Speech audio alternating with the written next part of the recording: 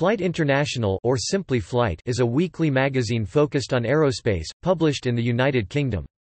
Founded in 1909 as a journal devoted to the interests, practice, and progress of aerial locomotion and transport.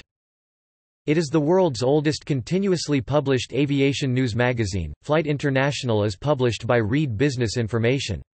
Competitors include Jane's Information Group and Aviation Week. Former editors of, and contributors to, Flight include H. F. King, Bill Gunston and John W. R. Taylor.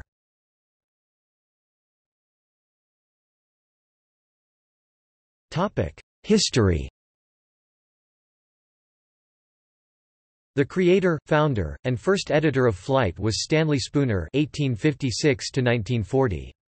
Stanley was also the creator, and editor of the Automotor Journal which was originally titled the Automotor Journal and Horseless Vehicle. From around 1900 the journal had a separate section relating to aviation and aeronautical matters.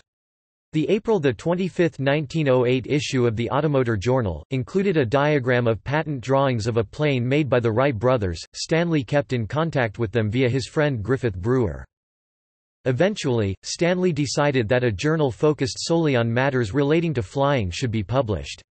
And so Flight magazine was created as an offshoot of the Automotor Journal claiming to be the first aeronautical weekly in the world. Flight first appeared on 2 January 1909 as the official journal of the Aero Club of the United Kingdom later the Royal Aero Club. In April 1934, Flight was acquired by Iliffe and Sons Limited who were proprietors and printers of technical magazines, one of which included the Autocar. On 4 January 1962 the magazine was renamed Flight International. Topic see also Flight Global Aviation Week and Space Technology, a similar aerospace sector industry magazine Notes